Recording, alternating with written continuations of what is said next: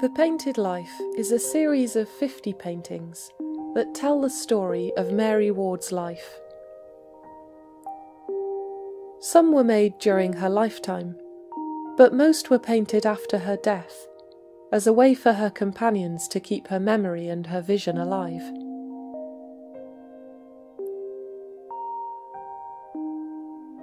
The paintings show us Mary Ward through the eyes of those who lived, travelled and worked with her, sharing her hopes and struggles.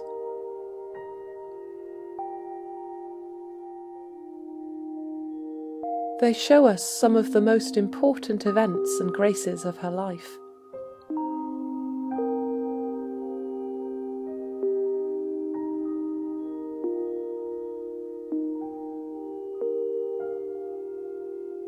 In this prayer, we will reflect on just a few of these pictures, exploring some of the connections between Mary Ward's journey of faith and our own.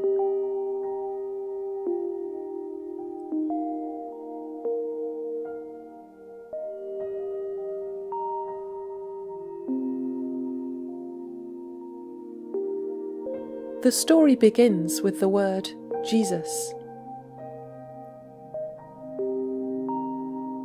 As a little child, Mary overheard her mother exclaim, Jesus, bless my child, as she was about to fall. As children do, Mary repeated it Jesus.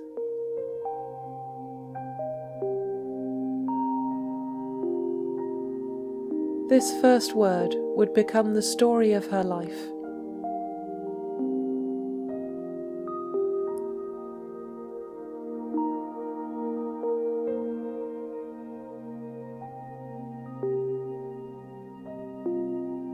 About you?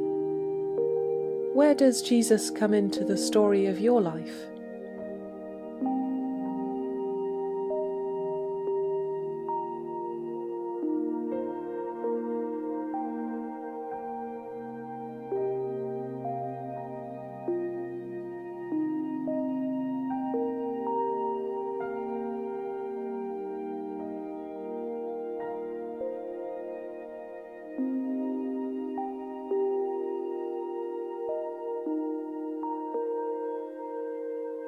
Can you remember a time when you really heard the name Jesus, perhaps for the first time, in a way that really meant something to you?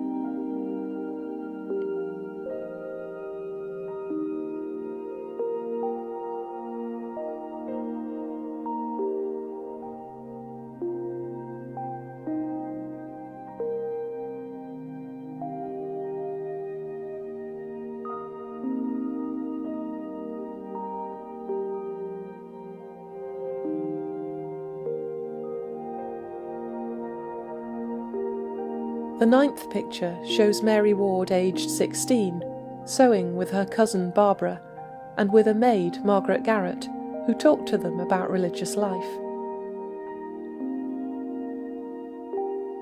In the painting, most people are absorbed in their work, but Mary has put down her sewing to listen carefully.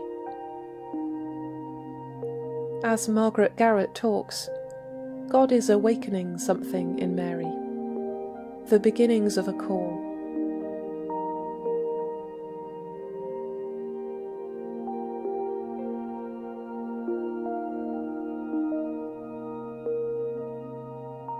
So often we hear God's voice, God's call, through others, through our family, through our friends, or sometimes through the words and actions of those we have never met.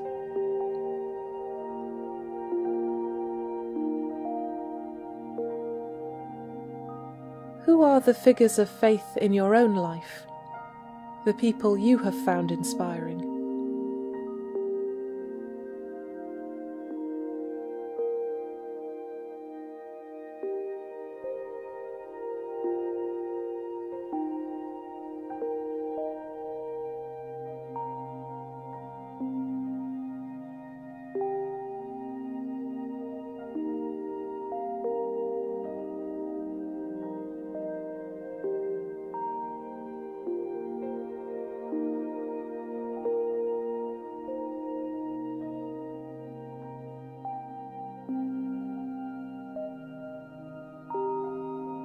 What hope or desire did they awaken in you?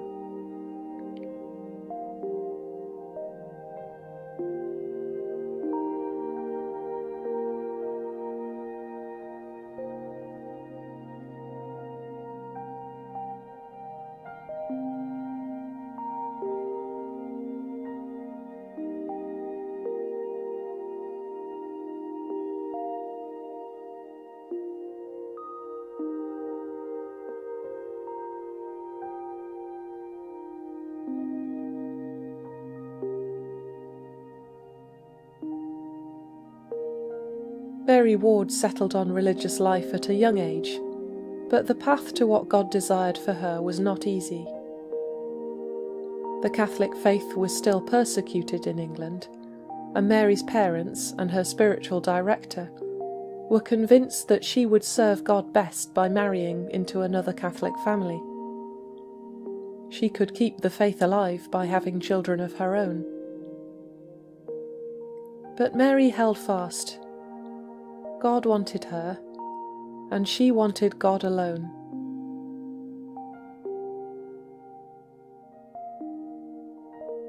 Later on, Mary Ward would talk about verity, the importance of courageously holding on to God's truth and the claims it makes upon you.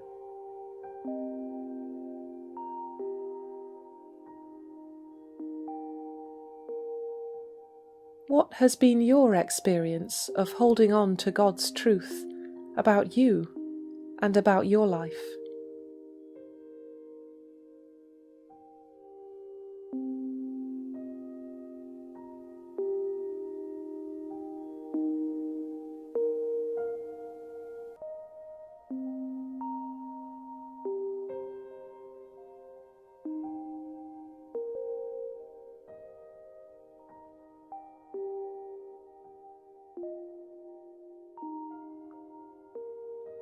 Have there been times when you have faced discouragement or opposition in doing what you felt was right?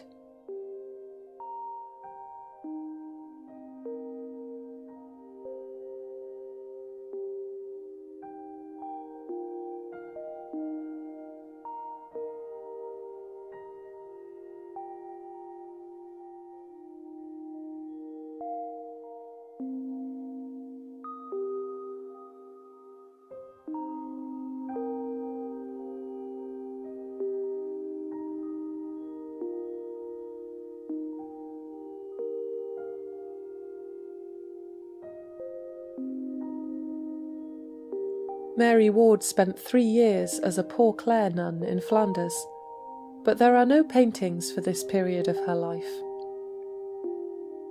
We have a picture of her setting off in a boat, wearing a beautifully embroidered dress, finally travelling towards the life she had wanted for years. The next picture shows her back in London, dressed in black, looking older. These were years of uncertainty. God had shown her that life as a poor Clare was not for her, and so Mary returned to London to work and to seek the will of God all over again.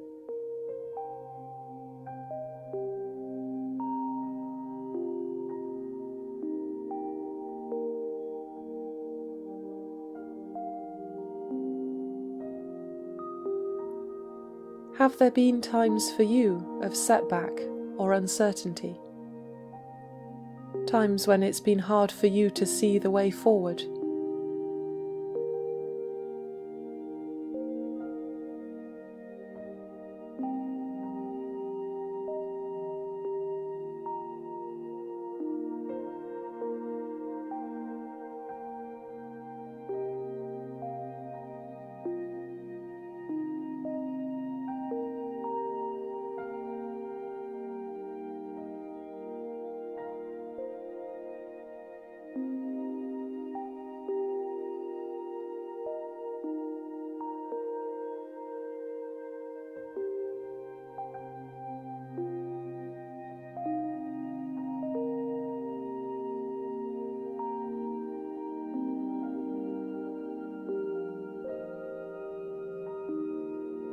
Where was God in that experience?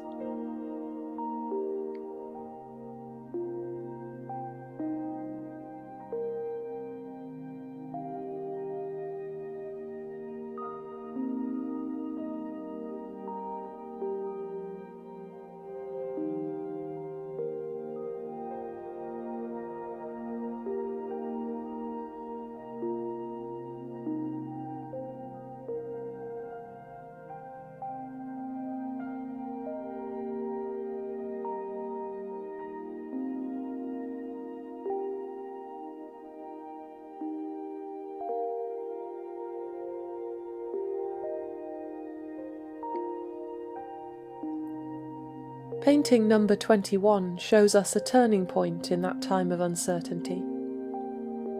While engaged in something very ordinary, brushing her hair, Mary suddenly understood that her life would glorify God in a way she could not yet imagine and did not yet understand.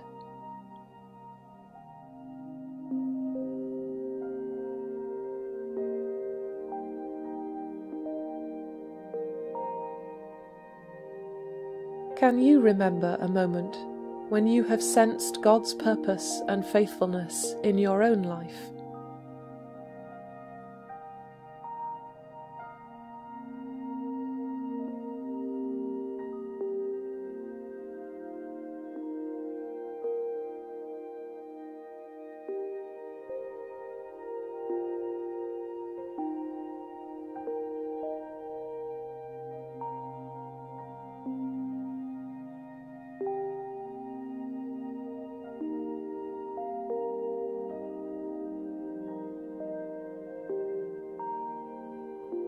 Have you ever had a sense that God is glorified in you and through you?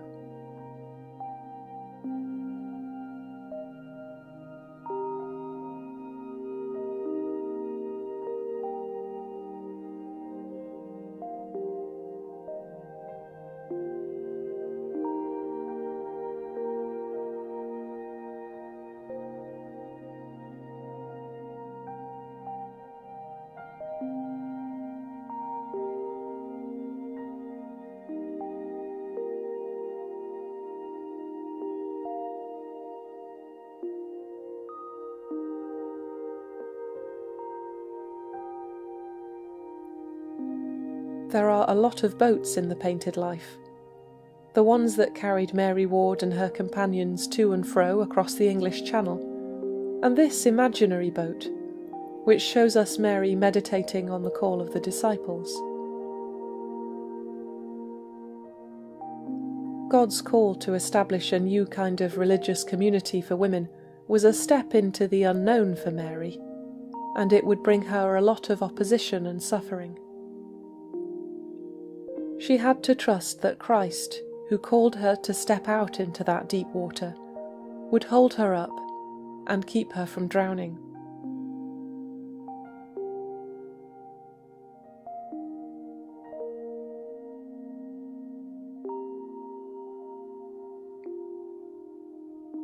When have you had to step out of the boat like this?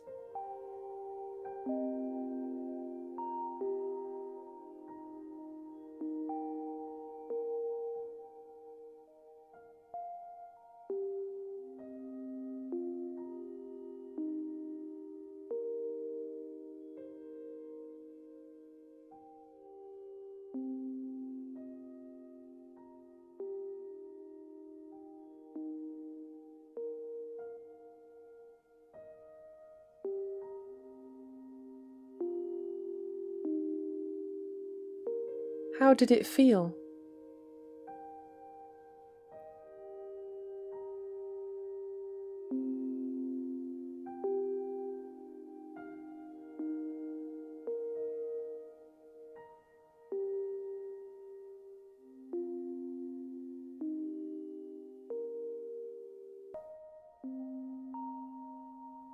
Was Christ there for you?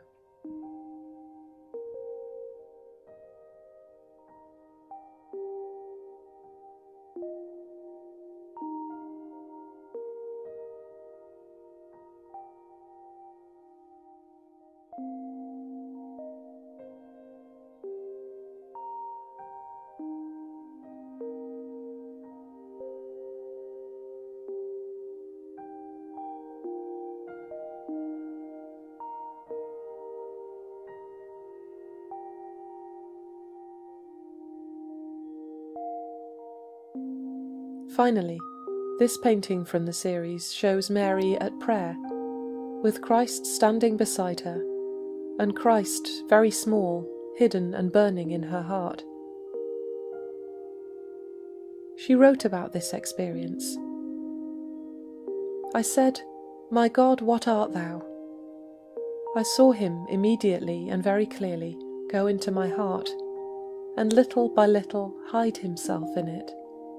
And there I perceive him still to be in the same manner, my meditation being ended almost an hour since. He held my heart.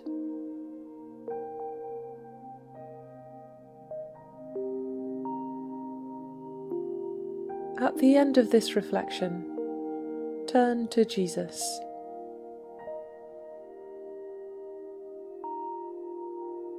Speak to him as a friend, as one who holds your heart.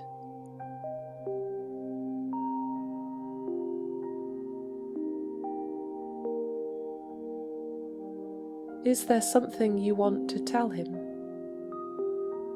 or ask him?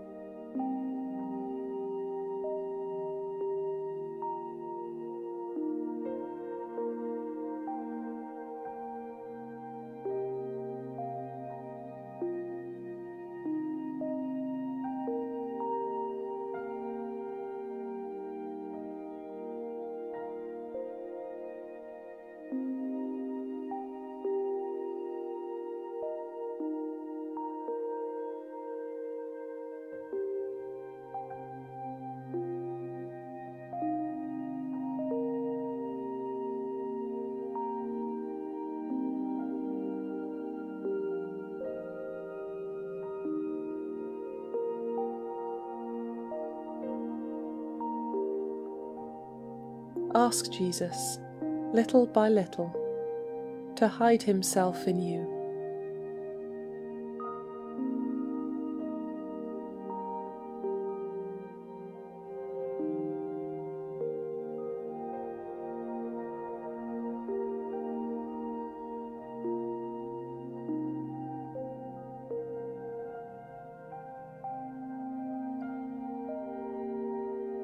Glory be to the Father and to the Son, and to the Holy Spirit, as it was in the beginning, is now, and ever shall be, world without end. Amen.